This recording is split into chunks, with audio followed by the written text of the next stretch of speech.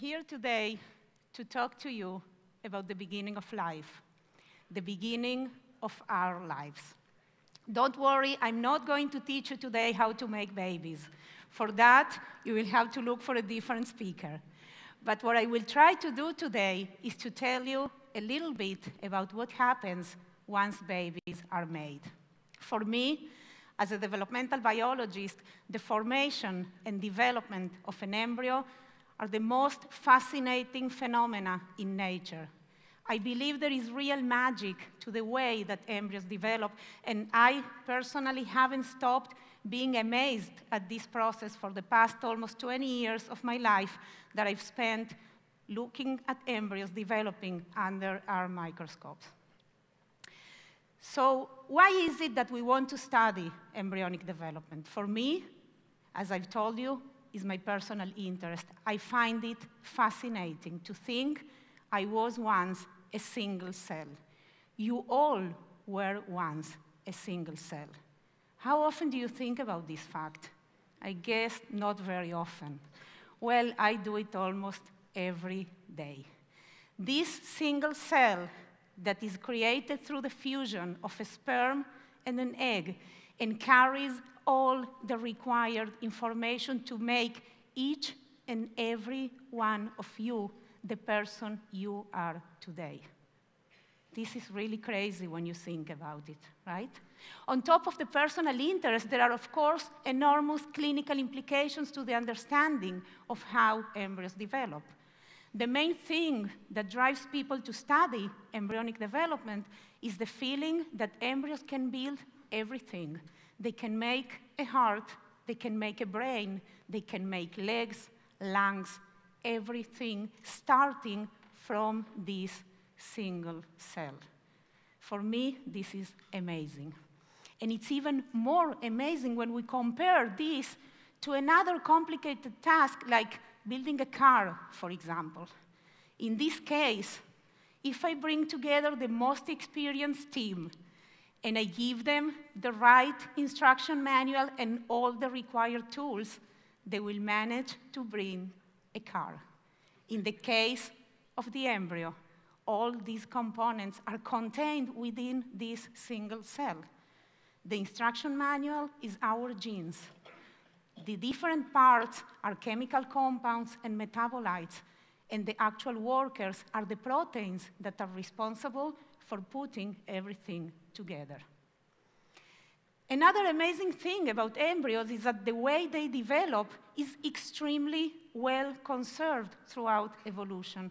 So if we look at the very early stages of development of a fish, a chick, a mouse, or a human embryo, they all look very much alike.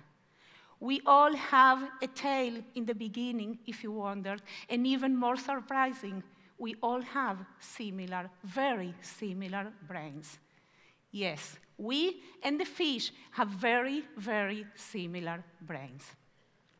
If I show you this picture, for example, I'm not sure how many of you will be able to tell me which of these is a human embryo. Believe me, the answer can be quite surprising. You can catch me at the break if you want to know it.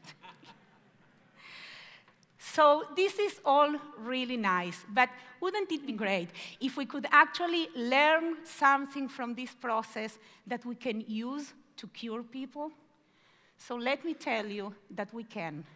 And we can because during diseases, our body goes back to the same mechanisms that it used during the formation of the embryo. So for instance, if our skin needs to grow in order to seal a wound in our hand, it will reuses and it will reactivate the same genes, the same proteins that the embryo used to build the skin in the first place.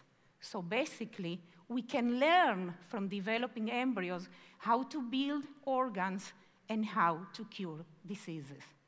In our lab at the Weizmann Institute, we focus on understanding how embryos make blood and lymphatic vessels. The leading causes of death in the Western world are somehow related to our vascular system. Heart attack, stroke, arteriosclerosis, cancer. These are all illnesses that involve malfunctioning of our vessels.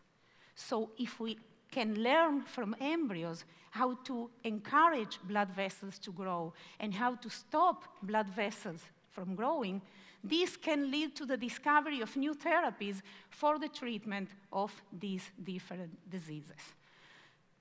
For instance, in the case of a heart attack, we really would like to know how to encourage blood vessel growth. What happened here is that this partially or fully blocked artery leads to a decreased blood flow to certain areas of the heart. As a consequence, the muscle is damaged and dies. The solution today in the clinics for this situation is a surgery, a bypass surgery that doesn't always work. We believe that if we knew how to grow blood vessels, new blood vessels in this area, we could potentially save the tissue. The exact opposite happens in the case of tumors. Tumors are really, really smart. That's why they, survive so well. The first thing they do is to surround themselves with a wide network of blood vessels in order to get more blood, more oxygen, more food than the surrounding tissues. Again, in this case, we believe that if we knew how to stop blood vessels from growing in this area, we could starve the tumor and kill it. So who is going to teach us how to encourage blood vessel growth, how to stop it? I guess by now the answer is clear, developing embryos. And since I've told you that from fish through salamanders and all the way up to human, we all use similar mechanisms to make blood vessels. In our lab, we learn from zebrafish. We use these fish, first of all, because they are cute. I mean, look at them, right? In addition to being cute, they develop externally. Their embryos don't need the mom's belly. So basically, their entire development happens in a plate under the microscope. And on top of that, they are transparent. Yes, transparent meaning we can see through everything happening in real time. What we have there here is a just born zebrafish embryo with two cells that have just divided from the first single cell that I mentioned at the beginning. These cells are placed on top of this huge yolk ball that is full of fat and, and, nutrients for the embryo to develop. We don't have that because we have a placenta, but they need it because they are not in their mom's belly. What I'm going to show you now is how real life takes shape every day in our labs. So these two cells will start dividing into four 8, 16, 32, 64, and so on and so forth. They will keep going and dividing until we get to a critical mass, a critical number of cells that is needed in order to start building organs. At this point, they will start moving and finding their place in space, the right position. As you can see here, once they get to the right place, the first organs will start to come up. We will have the head coming up in the top of the slide and the tail in the bottom. In the left side, you start seeing these squares are the muscles, the first ribs. We already have an eye coming up in the head, and the ear will follow. By the end of this process, we have an almost fully developed zebrafish embryo. All this, amazingly enough, takes place during 19 hours in a fish. This is equivalent to three weeks of development of a human embryo, other than the difference in timing and this ball of fat, we look more or less the same. In order to focus on blood vessels, we and others have generated zebrafish embryos with glow in the dark vessels. We have them in many colors. I personally love the green, but we also have them in red, in blue, and we can find a color for each of you if you want.